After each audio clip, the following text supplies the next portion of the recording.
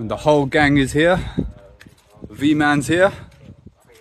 Josh, which is with which is with his fancy new van. Van Vault is in. Oh, where's the key gone? I lost the key. No, I haven't.